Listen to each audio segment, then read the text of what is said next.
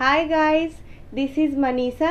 Welcome back to my YouTube channel so लेकर आई हूँ आप सभी के लिए फिर से एक और न्यू ज़बरदस्त जॉब अपडेट जो कि डायरेक्टली निकल के आ रही है इंडियन नेवी की तरफ़ से। तो फ्रेंड्स इंडियन नेवी की न्यू वैकेंसी जो कि एसएसआर और एमआर की पोस्ट के लिए आ चुकी है ये आपको मेल और फीमेल दोनों ही कैटेगरी के कैंडिडेट्स के लिए आपको देखने को मिल जाएगी। फ्रेंड्स, इंडियन नेवी के अंदर एसएसआर और एमआर की वेरियस पोस्ट पे वैकेंसी आ चुकी है। ये ऑल इंडिया की वैकेंसी रहने वाली है। तो आगे इस रिक्रूटमेंट के रिगार्डिंग हम लोग कंप्लीट डिटेल्स में बात करने वाले हैं कि पोस्ट वाइज वैकेंसी क्या रहने वाली है। सिलेक्शन की प्रोसीड्यूर क्या होगी? स्टेप बाय स्टेप आपको समझाऊँगी और आपको पोस्ट वाइज एलिजिबिलिटी क्राइटेरिया को भी हम लोग डिस्कस करने वाले हैं। सो so फ्रेंड्स अगर आप इस ज़बरदस्त वैकेंसी को लेकर थोड़े से भी इंटरेस्टेड हो आप तो इस वीडियो को एंड तक ज़रूर देखना। तो चलिए हम लोग फटाफट स्टार्ट करते हैं। जैसा कि आपको स्टार्टिंग में ही बताया है कि वैकेंसी निकली है इंडियन नेवी की तरफ़ से एसएसआर और एमआर की पोस्ट के लिए। तो पहले हम लोग बात करेंगे कि इसमें आपको total number of vacancy total number of seats क्या रहने वाला है। तो यहाँ पे फ्रेंड्स आपको 1465 टोटल नंबर ऑफ़ वैकेंसी देखने को मिल जाएगी।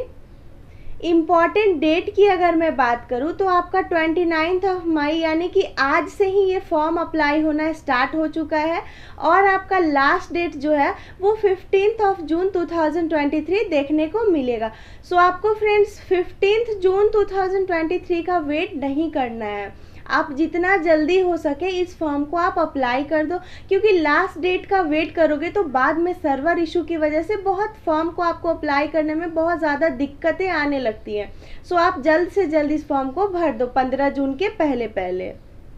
इस फॉर्म के लिए जो आपका फ़ी रहने वाला है, वो आपका फाइव हंड्रेड फिफ्टी रुपीज़ है। वो आपको ऑल कैटेगरी सभी कैंडिडेट के लिए आपको ये फ़ी रहने वाला है। और हाँ फ्रेंड्स आप सभी के लिए एक बहुत बड़ी खुशखबरी भी रहने वाली है इस फॉर्म से रिलेटेड जैसे पहले नेवी का फॉर्म भरने में बहुत सारे बच्चे जो है वो डरते थे, जिनका टेंथ और ट्वेल्थ का परसेंटेज कम होता था। उन्हें ऐसा डर लगता था कि कहीं मेरा परसेंटेज कम है तो बाद में मेरा एडमिट कार्ड ही ना आए। तो आप लोग निश्चिंत हो जाए। इस बार ऐसा कोई इशू नहीं आने वाला है। इस बार जो आपको बस टेंथ और ट्वेल्थ अगर आप पास आउट हो तो आप टेंशन फ्री होके इस फॉर्म को अप्लाई कर दो और आपका एडमिट कार्ड भी आएगा। अब हम लोग बात करेंगे एसएसआर की पोस्ट की डिटेल्स के ऊपर। इसमें आपको टोटल नंबर ऑफ़ पोस्ट जो है वो 1365 रहने वाला है और फीमेल कैटेगरी के कैंडिडेट के लिए 273 पोस्ट आपको रहेंगे। अगर एज लिमिट की बात करूँ तो जिन भी कैंडिडेट का date of birth first November 2002 से लेके 30 अप्रैल 2006 तक है, वो सभी इस फॉर्म को भरने के लिए एलिजिबल रहेंगे। एसएसआर की पोस्ट के लिए एजुकेशनल क्वालिफिकेशन की अगर मैं बात करूँ तो आपको बस ट्वेल्थ पास आउट होना चाहिए with math physics with math physics and with one of the following subject like chemistry bio and computer science means कि आपको जो है ट्वेल्थ क्लास में आपको फिजिक्स और मैथ तो होना ही चाहिए सब्जेक्ट इसके साथ ही साथ आपको एक, इन में से कोई एक सब्जेक्ट जैसे कि फिजिक्स मैथ केमिस्ट्री है फिजिक्स मैथ और आपका बायो है फिजिक्स मैथ और आपने कंप्यूटर साइंस ले रखा है तो आप इस फॉर्म को भरने के लिए एकदम एलिजिबल हो। सिलेक्शन प्रोसेस की बात करें तो इसमें जो है वो आपका फ़र्स्ट आपका ऑनलाइन टेस्ट होता है, यानी कि आपका सीबीटी एग्ज़ाम लिया जाता है। देन आपका पीएफटी टेस्ट यानी फ़िज़िकल फिटनेस टेस्ट होता है। फिर आपका initial medical and final recruitment medical कराया जाता है। देन आपका ज्वाइनिंग लेटर आपको मिल जाता है। इसका जो मेडिकल होता है, दोनों ही पोस्ट के लिए आपको आईएनएस चिल्का में मेडिकल कराया जाता है। चिल्का आपको पता ही होगा आईएनएस चिल्का आपका उड़ीसा में है। सो आपको वहाँ पर जा कर के आपका मेडिकल आपको कराना होगा। और एसएसआर की पोस्ट के लिए जो आपका सीबीटी एग्ज़ाम होता है, उसके पैटर्न को हम लोग अभी समझते हैं। इसमें आपको टोटल हंड्रेड क्वेश्चंस रहते हैं हंड्रेड मार्क्स के। वन आवर का आपका ये पेपर होता है। ट्वेल्थ लेवल का एग्ज़ाम होता है तो उस लेवल का आपको तैयारी करना रहता है। आपको चार सब्जेक्ट के क्वेश्चंस रहते हैं टोटल। आपको मैथ, इंग्लिश, जनरल साइंस और जनरल अवेयरनेस, यानी कि जी के जी एस की आपको हंड्रेड क्वेश्चन रहती है। मतलब हर सब्जेक्ट से आपको पच्चीस पच्चीस क्वेश्चन देखने को मिल जाएगा। और आपका इसमें निगेटिव मार्किंग भी होता है। जैसे हंड्रेड क्वेश्चन आपका रहता है तो अगर आप गलत करते हो यहाँ पे तो आपको निगेटिव मार्किंग जो है ज़ीरो पॉइंट टू फाइव का रहेगा। सो so, ये आपको ओवरऑल डिटेल हो गया आपका इंडियन नेवी एसएसआर की पोस्ट के लिए।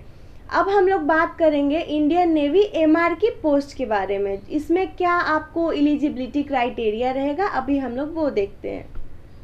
सो इंडियन नेवी एमआर की जो टोटल पोस्ट है, वो आपको हंड्रेड रहने वाली है और फीमेल कैंडिडेट्स के लिए ये ट्वेंटी पोस्ट आपको रहेगा।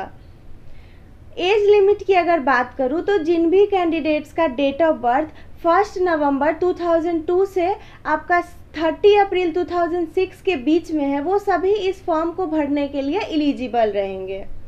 इसकी अगर क्वालिफ़िकेशन की अगर मैं बात करूँ कि इसमें एजुकेशनल क्वालिफ़िकेशन क्या चाहिए तो बस फ्रेंड्स अगर आप टेंथ पास आउट हो तो आप इस फॉर्म को भर सकते हो। एकदम एलिजिबल हो टेंथ पास वालों, जो भी कैंडिडेट्स हो, आप सभी इस फॉर्म को अप्लाई कर सकते हो।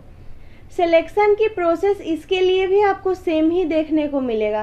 फ़र्स्ट आपका ऑनलाइन टेस्ट यानी कि सीबीटी एग्ज़ाम होता है आपका कंप्यूटर बेस्ड सेकेंड आपका पीएफटी यानी कि फ़िज़िकल फिटनेस टेस्ट होता है। देन आपका इनिशियल मेडिकल होता है एंड आपका फाइनल रिक्रूटमेंट मेडिकल कराया जाता है। उसके बाद आपको आपकी ज्वाइनिंग लेटर दे दी जाती है। इसका भी मेडिकल जो है वो आपका I N S Chilka Orissa में होगा। और इसका जो सी बी टी एग्ज़ाम होता है वो आपका टेंथ लेवल का होता है। बहुत ही आसान पेपर होता है। सो so, इसमें आपको जो है फिफ्टी क्वेश्चंस रहते हैं फिफ्टी मार्क्स के। थर्टी मिनट्स का आपका एग्ज़ाम होता है। इसमें भी आपको negative marking zero point two five का रहता है और आपका इसमें बस तीन सब्जेक्ट से क्वेश्चन पूछा जाता है। साइंस मैथ और जनरल अवेयरनेस है तो सो ये आपका थोड़ा इजी होता है। अगर आप हल्का सा भी ध्यान दे के अगर आप प्रिपेयर करोगे, थोड़े ध्यान से मन लगा के तो आप इसको एग्ज़ाम को आप क्रैक कर सकते हो। सो so फ्रेंड्स आपने एग्ज़ाम का पैटर्न तो देख लिया। अब दोनों ही पोस्ट नेवी के आपको एसएसआर और एमआर के लिए पीएफटी टेस्ट होता है। फ़िज़िकल फिटनेस टेस्ट होता है। सो so, दोनों पोस्ट के लिए आपका सेम पीएफटी टेस्ट लिया जाता है। मेल और फीमेल दोनों ही कैटेगरी के लिए बताऊँगी कि किसके लिए क्या आपको रहने वाला है। सो so, अगर रनिंग की बात करूँ तो 1.6 किलोमीटर का रनिंग होता है मेल और फीमेल दोनों कैंडिडेट के लिए। मेल कैंडिडेट को ये रनिंग आपको 6.5 मिनट्स में करना होता है। और अगर फीमेल कैंडिडेट की बात करूँ तो उनको ये रनिंग 1.6 किलोमीटर्स की 8 मिनट में आपको कंप्लीट करना होता है।